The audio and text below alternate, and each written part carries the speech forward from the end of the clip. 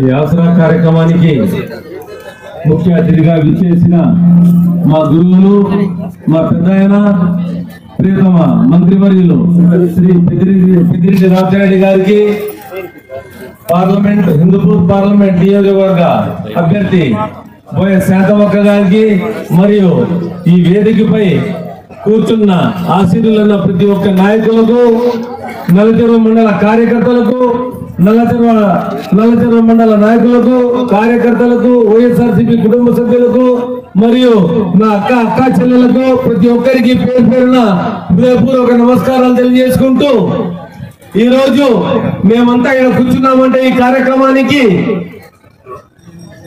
మన రాష్ట్ర ముఖ్యమంత్రి శ్రీ వైఎస్ జగన్మోహన్ రెడ్డి గారు చేస్తున్న సంక్షేమంలో ఇది ఒక భాగమని మీరందరికీ నేను గుర్తు చేస్తున్నాను.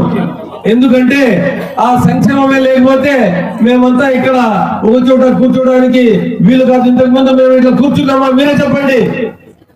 కూర్చోలేదు ఈ రోజు మేము ఇక్కడ కూర్చున్నామంటే ఆ సంక్షేమమే అని మరి మీకు అందరికీ నేను మళ్ళీ మళ్ళీ గుర్తు చేస్తున్నాను.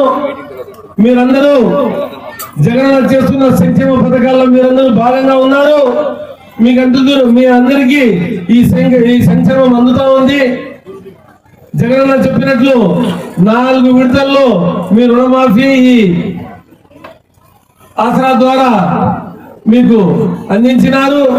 ఇలాంటివి ఎన్నో మీకు సంక్షేమము ఎన్నో అభివృద్ధి కార్యక్రమాలు చేపట్టినారు చేపట్టినారు కాబట్టి వచ్చే ఎన్నికల్లో మీరందరూ ఫ్యాన్ గుర్తుకు ఓటు వేసి జగనన్నను మళ్ళీ ముఖ్యమంత్రి చేయాలని నాకు అసెంబ్లీ పంపాలని మరియు బోయ్ శాంతమక్క గారిని పార్లమెంట్ పంపాలని మిమ్మల్ని అందరినీ వేడుకుంటున్నాను.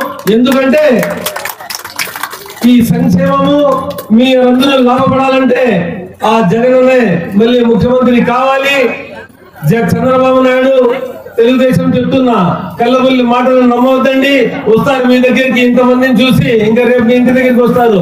అమ్మా ఇదంతా అబద్ధము మేము ఇంకా మీకు ఇంకా ఏదో తెస్తాము సూపర్ సిక్స్ అని కొత్త పథకాలు చెప్తారు. ఆసరాకు మీకు ఇంత వస్తుంది డబ్బు మీకు ఇంకొంచెం మేము ఎక్కువ ఇస్తామని. అవన్నీ కళ్ళబుల్లి బాటలు అవన్నీ ధోకాలు. ఎందుకంటే ముందు పద్నాలుగేళ్ళు పరిపాలించి అవన్నీ ఏమైనా ఇచ్చారా మీరే చెప్పండి.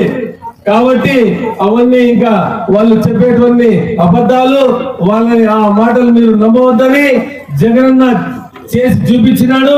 ఇంకా రానున్న రోజుల్లో కొత్త కొత్త పథకాలతో వచ్చి మిమ్మల్ని అందరినీ తప్పకుండా సంక్షేమంలో మీ ఇంటికి డబ్బులు వచ్చేలా పెన్షన్ అయితేనేమి ఆసరా అయితేనేమి చేయితేనేమి ఇలాంటివి ఎన్నో పథకాలు చెప్పేటివి కొన్ని ఉన్నాయి. చెప్పి ఇంకా చెప్తా పోతే అర్ధగంట అయిపోతుంది. అన్ని సంక్షేమ పథకాలు మీ ఇంటికి చేరినాయి.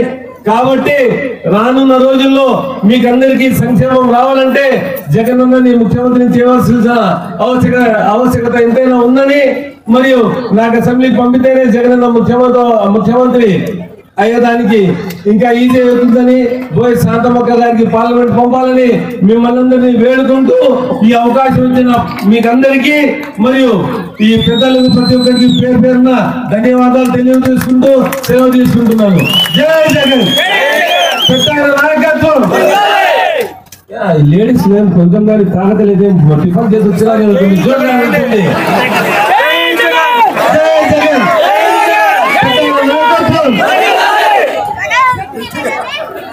Oh,